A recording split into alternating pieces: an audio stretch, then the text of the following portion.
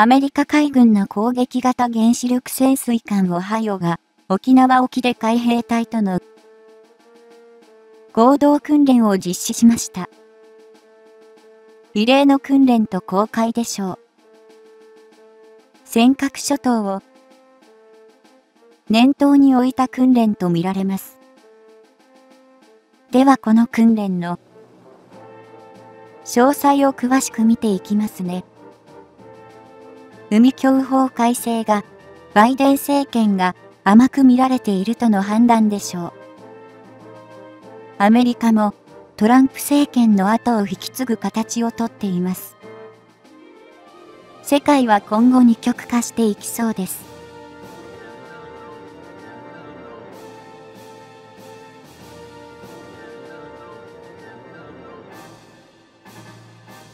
2020年2月2日、アメリカ海軍の第7艦隊所属のオハイオ級原子力潜水艦の一番艦オハイオと沖縄に駐留するアメリカ海兵隊とが沖縄沖の海上で合同訓練を実施したことが報じられた。くしくも前日の1日からは中国の沿岸警備隊にあたる中国海峡局の法改正が施行されており、従来よりも容易に中国海峡局側の判断での武器使用が緩和される措置が取られた直後だった。このことから、今回のアメリカ海軍とアメリカ海兵隊の合同訓練は、そうした中国側の動きを見据えた対応策の一環とみられており、尖閣諸島をはじめとする南西諸島防衛への布石だろう。今回、訓練の舞台となった原子力潜水艦、オハイオは、水中排水量18,750トン、全長170.67メートル、全幅12.8メートルの艦用を持ち、収益自体は1981年と寒冷40年を超える潜水艦だ。収益から20年、オハイオは核弾頭も搭載可能な弾道ミサイルを運用する。戦略型原子力潜水艦だったが、1993年にロシアとアメリカとの間で結ばれた第二次戦略兵器削減条約に基づき、回収を受ける。アメリカ海軍では、このオハイオから4番艦、ジョージアまでの4隻を2001年以降、戦略型原子力潜水艦としての配備から外し、並走巡航ミサイルに改める措置を施した。ここで、オハイオら4隻は、24機搭載していたトライデント弾道ミサイル。発射塔をトマホーク巡航ミサイル発射塔22機へ換装し、さらに特殊部隊等の人員を収容する設備を残りの箇所に加えている。今回の合同訓練で焦点となったのは、まさにこの特殊部隊等の人員を収容する。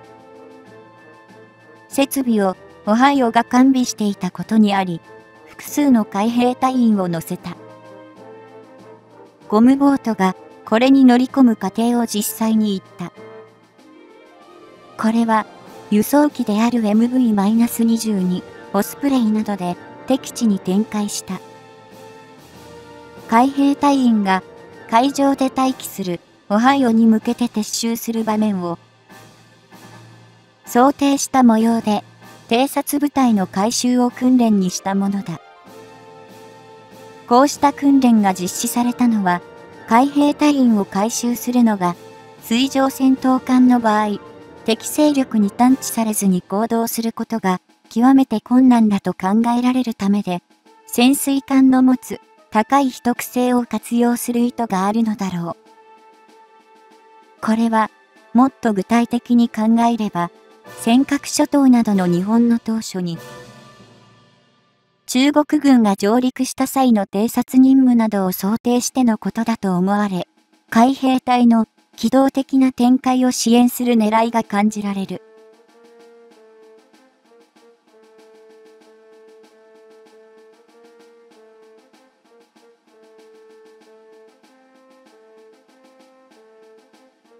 加えて、オハイオは、前述のようにトマホーク巡航ミサイルを、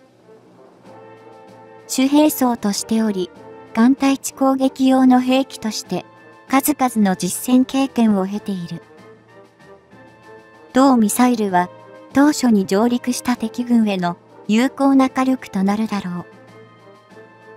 う。日本の自衛隊においては、いかんせん、専守防衛の方針の下、敵地攻撃能力に数えられる対地攻撃用の巡航ミサイルは数が少ないが、当初防衛用にはそちらの増強も必須となっていくはずだ。オハイオ旧潜水艦は最大でトマホーク巡航ミサイルを約150発も搭載することが可能であり、この数はアメリカ海軍の中でも軍を抜いて多く、本艦を巡航ミサイル原子力潜水艦と称しているのも頷ける。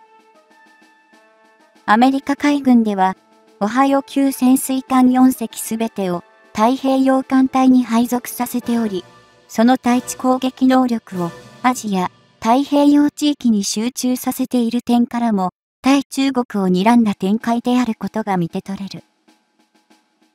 さて、アメリカは、時を同軸して、南シナ海へ原子力航空母艦ニミッツとセオドア・ルーズベルトの2つの空母打撃軍も派遣しており、同海域内での軍事演習も実施している。これら一連のアメリカ軍の動きは、今年2021年から政権の座についた。民主党、バイデンの中国に対する姿勢を示すものとみられ、前トランプ政権より中国寄りとも言われた前評判を覆すかもしれない。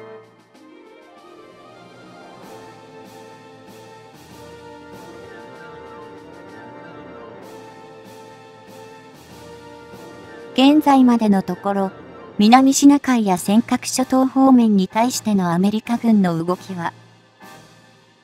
積極的でもあり、すぐにこれまでの路線を改めて中国に譲歩するような展開は今のところ見当たらない。横須賀を母港としているアメリカ海軍の第7艦隊には、この2月4日に、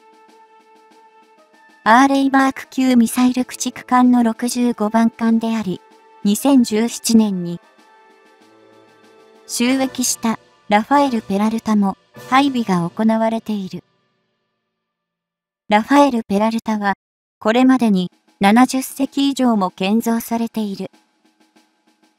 アーレイバーク級ミサイル駆逐艦の中でも、現在収益している最新型の、フライト 2A 型であり、弾道ミサイル防衛にも優れた艦艇だ。本来、アーレイバク級ミサイル駆逐艦の次級として期待された。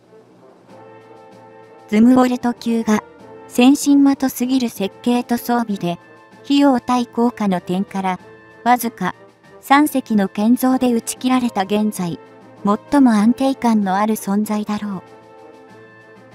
こうした貴重なアーレイ爆級ミサイル駆逐艦のフライト 2A 型を第7艦隊に追加配備している点からも、アメリカ海軍がアジア、太平洋方面の戦力強化に重点を置いていることは間違いない。